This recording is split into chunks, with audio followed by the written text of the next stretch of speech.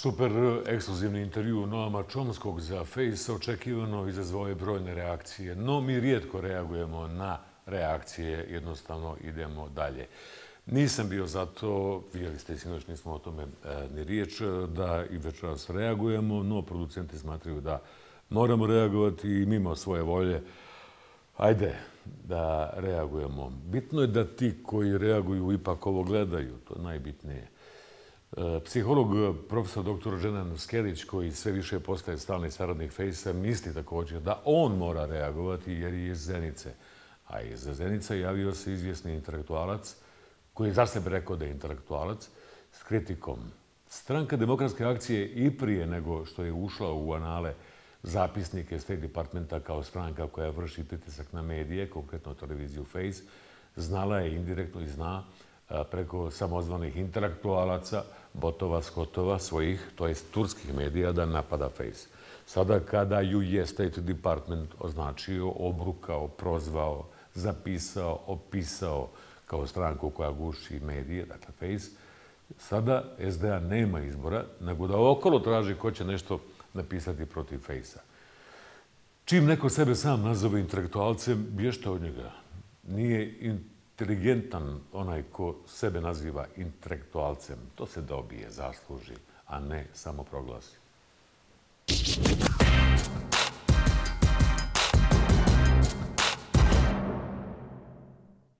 Sve češće u javnom prostoru na površinu iskoči neki novi lik čovjeka Pacova, stvarnog vladara mikrosvijeta iz novelišta Koraš, ruskog književnika Aleksandra Grina iz 1923. godine. Njihove dominantne crte karaktera su gramzivost, proždrljivost, pohlepa, pa samoljublje i sklonost samoveličanju i samohvaljenju. Njima niko nije ravan. Oni su prava mjera svijeta. Oni su napušteni princip čovjeka kao mjere svega preveli na egocentrično razumijevanje i tumačenje zbilje u kojem je njihovo ja mjera svih stvari. Jedan od novih primjeraka te vrste najprije se samo prozvao intelektualcem, a onda brže bolje formirao takozvani krug zeničkih još takozvanih intelektualaca te stao na njegovo čelo.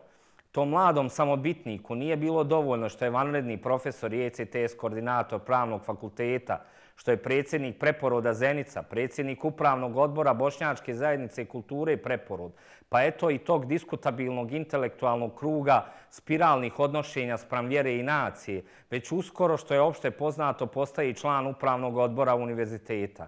Neko bi pomislio da se radi ili o čovjeku univerzalisu ili stranačkom podobniku. Kako god, analizirajući njegov javni istup na portalu Deblokada dana 18.4.2022. pod naslovom Zenički intelektualni krug digao glas protiv Hadžifejzovića i vrijeđanja žrtava genocida, upadljivo je kako je ovladao svim aspektima populizma, spinovanja i manipulacije javnim mjenjem u svrhu iskrivljavanja istine, kako bi se pokušali eliminisati svi neistomišljenici njega i njegovog kvazi kruga, kvazi intelektualaca u borbi za partijsko jednoumlje i nacionalnu istinu. To što je uspio izmanipulirati određene ugledne ljude, aktere intelektualnog i društvenog života Zenice sa pričom o zeničkom intelektualnom kružoku, dalo je dotičnom krila, pa se uputio na putešestvije manipuliranja širim auditorijem. Koliki je ego zarobljen u toj prolaznoj formi, najbolje svjedoči njegov napad na Noama Čomskog, najvećeg živućeg intelektualca. Ovaj napad se nije moramo to priznati, fundirao na lažima, jer Čomski jeste imao određene revizionističke izjave u vezi rata u BiH 90-ih. Ali je činjenica da na tu temu kod Senada nije ni govorio, a i da jeste posao je novinara da razgovara sa svima onima koji su nosioci javnog mišljenja i koji gospodare sadržajem semiosfere i diriguju vladajućim diskursom, a Čomski je zasigurno jedan od nosilaca značenja moderne civilizacije. Uzgred, što bi jedan od značajnijih živućih povjesničara u Zenici, Iqbal Cogo, rekao čast je profesore biti u istoj emisiji u kojoj je učešće uzeo Čomski.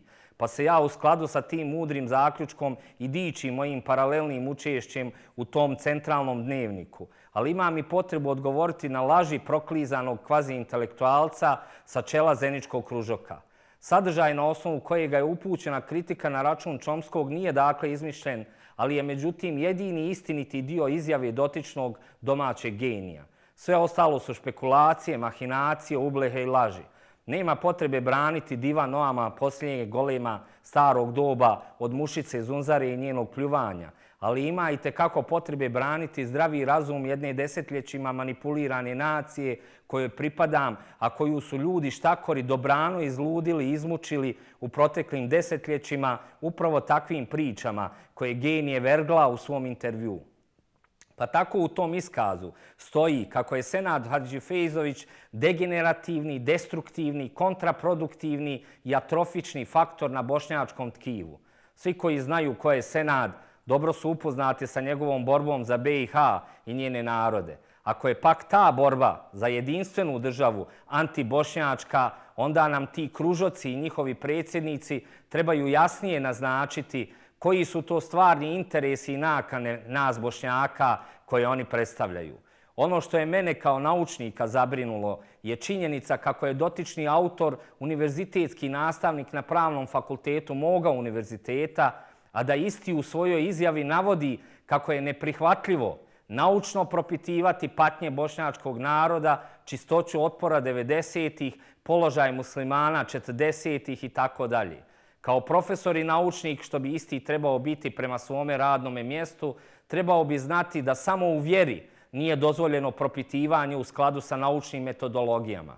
Samo u vjeri su prihvatljive i razumljive dogme i neupitan zahtjev njihovog apsolutnog prihvatanja. Ali čak i u vjeri se kaže kako je bogobojaznost balansiranje između vjere i sumnje. Očito da genije i mi ostali nismo stasavali na istoj literaturi istim znanstvenim uzusima. Trebao bi taj genije znati kako su svi nacionalizmi istinski isti izvorište su svekolikog zla, kao i svako drugo potenciranje razlike po bilo kojem osnovu, jer je vrednovanje te razlike u smislu pridruživanja Valencije podloga budućih sukoba, razgraničenja i mržnje sprem svih ne mi. Pitam se kako neko sa takvim svjetonazorima predaje studentima koji pripadaju kategoriji drugi. I što je još važnije, najvažnije od svega, kako se ti drugi osjećaju na predavanjima nekoga ko svoj autoritet gradi na pripadanju nacionalnoj skupini i dogmatskoj isključivosti. Svi su ljudi jednaki, ali su neki jednaki. Čomski spada neupitno u ove jednakije, a vi, dragi moj genije, zasigurno nikada nećete taj krug ni iz daljine vidjeti. U ovom našem mikrouniverzumu pak Senad je za tebe, Čomski.